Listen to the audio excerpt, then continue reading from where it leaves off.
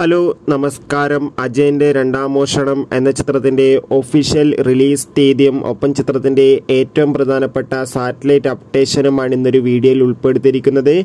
വീഡിയോയിലേക്ക് മുമ്പ് video like ചെയ്യുക ചാനൽ സബ്സ്ക്രൈബ് ചെയ്യാൻ വേണ്ടി ശ്രമിക്കുക. ടോവിനോ തോമസ് നായകനായി വരാൻ പോകുന്ന ചിത്രമാണ് അജയന്റെ രണ്ടാം മോഷണം. എല്ലാ സിനിമാ പ്രേമികളും ഒരേപോലെയാണ് അജയന്റെ രണ്ടാം മോഷണം എന്ന ചിത്രത്തിന്റെ ഓരോ അപ്ഡേഷനും അറിയാൻ വേണ്ടി കാത്തിരുന്നത്. ചിത്രത്തിന്റെ ഒഫീഷ്യൽ ട്രെയിലർ ഇന്നലെയായിരുന്നു റിലീസ് ചെയ്തിട്ടുണ്ടായിരുന്നത്. അതിഗംഭീരമായ പോസിറ്റീവ് റെസ്പോൺസ് തന്നെ ചിത്രത്തിന്റെ ട്രെയിലറിന് സ്വന്തമാക്കാൻ വേണ്ടി സാധിച്ചിട്ടുണ്ടായിരുന്നു. അങ്ങനെ കാത്തിരിപ്പിനൊടിയിൽ ചിത്രം സെപ്റ്റംബർ പന്ത്രണ്ടാം തീയതി ഓണം സ്പെഷ്യലായി തിയേറ്ററുകളിൽ എത്തുമെന്ന് കൺഫേം ആക്കിയിട്ടുണ്ട്. ഇപ്പോൾ ചിത്രത്തിന്റെ സാറ്റലൈറ്റ് അവകാശങ്ങൾ സൂര്യ ടി വിയും സ്വന്തമാക്കിയെന്ന് കൺഫേം ആക്കിയിട്ടുണ്ട്. എന്തായാലും അജയന്റെ രണ്ടാം മോഷണം എന്ന ചിത്രത്തിന്റെ കൂടുതൽ അപ്ഡേഷൻ അറിയാൻ വേണ്ടി കാത്തിരിക്കാം.